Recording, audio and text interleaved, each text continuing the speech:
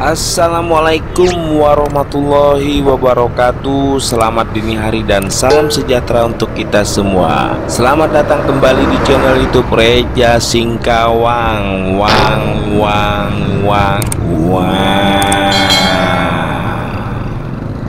Nah teman-teman seperti biasa kita membaca bumi bulat dulu Nah kali ini kita akan melihat rute perjalanan kita ya. Dari rumah saya kali ini hari keempat kita ngabuburit. Uh, kita akan ke Pasaroban ke Jalan Veteran. Nah dari sini kita akan lurus Jalan Jenderal Sudirman sampai perempatan lampu merah Pasaroban kita akan masuk Jalan Veteran nah kita akan posisikan tiga dimensi dulu. Hingga lurus sampai melewati persimpangan Perumnas. Nah ini teman-teman jalan yang kita lewati ya. Terus sampai Wonosari. Nah sampai sini kita putar balik ya. Kurang lebih 2 kiloan kita perjalanan kita hari ini. Selanjutnya kita menuju kembali ke Pasaroban dan kita akan singgah ke tempat paman saya membeli uh, gorengan ya. Beli takjil yaitu bakwan korket dan tahu goreng. Nah yuk kita jalan-jalan hari ini. Ngabuburit hari keempat Ramadan Singkawang lumayan cukup panas hari ini. Cukup cerah.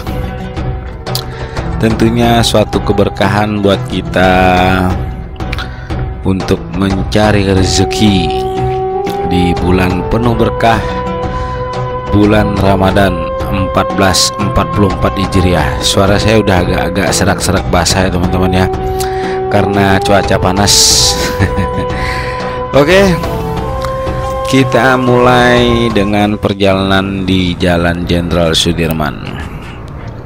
Nah suasana di Pasar Oban ini teman-teman di Pasar Roban ini memang cukup ramai sekali teman-teman ya karena di sini pusatnya perbelanjaan yang ada di Singkawang Tengah.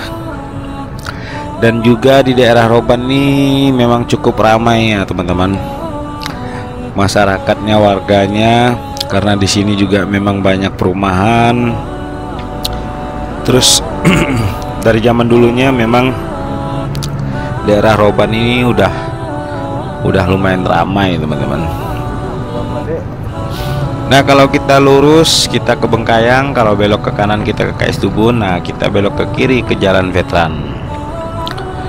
Kita akan melewati beberapa konsentrasi yang sangat ramai sekali teman-teman. Nah teman-teman bisa lihat di lampu merah aja antrian kendaraan untuk menunggu lampu hijau sangat ramai sekali.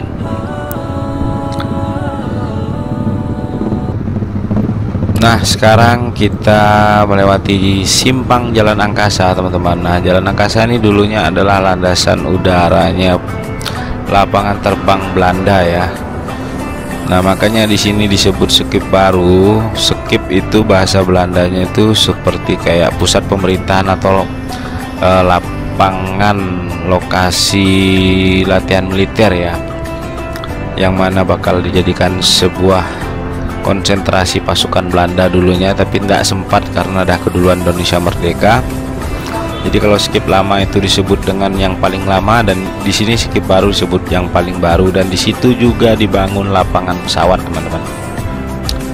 Yang sekarang menjadi markas uh, batalion 641 Rider.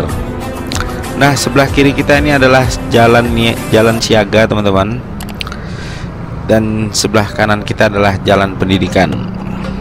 Nah di sini juga sangat ramai sekali ya teman-teman sampai macet ya kita mau melewati konsentrasi masyarakat warga Kelurahan Roban yang sedang berbelanja untuk memenuhi kebutuhan menjelang berbuka puasa.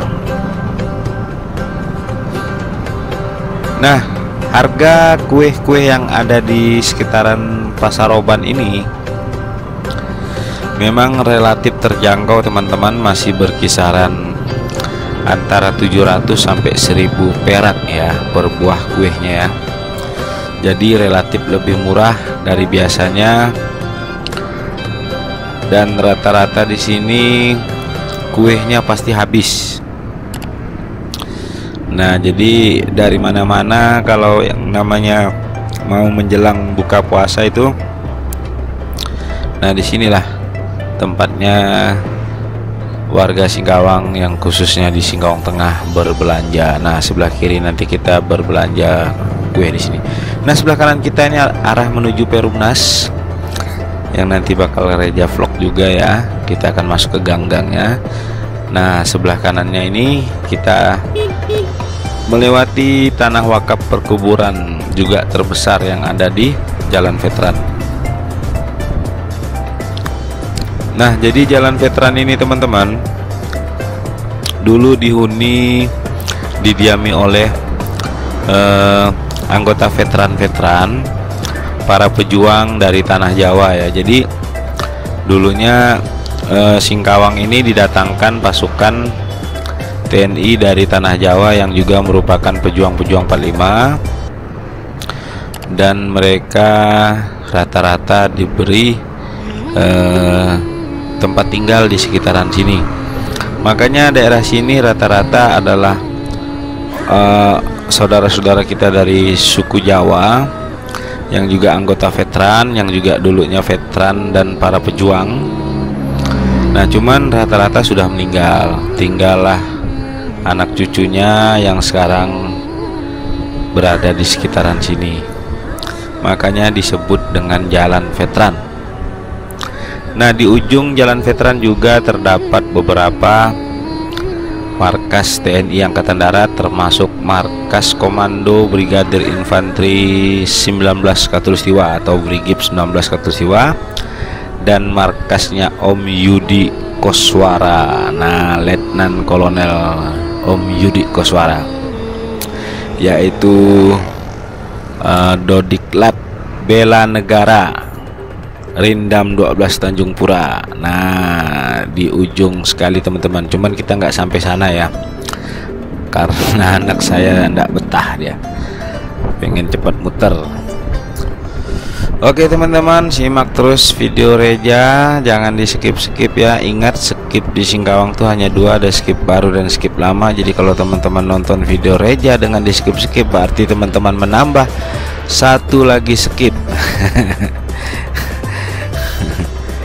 Oke simak terus videonya sampai selesai biar teman-teman tahu dengan Singkawang kota tertoleransi sedunia ya. Saya anggap sedunia lah karena di negara-negara yang lain tidak ada setoleransi seperti Singkawang. Oke tontonin terus ya. Jangan lupa subscribe share like dan komen. Buat yang belum subscribe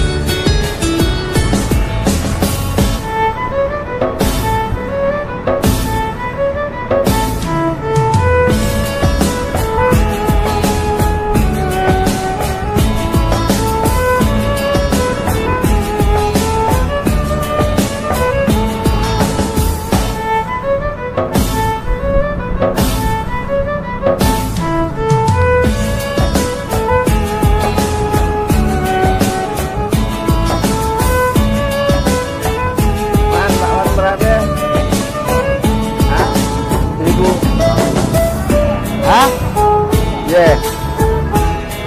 Alhamdulillah. Halo Halo Bakwan 5 Tahu 5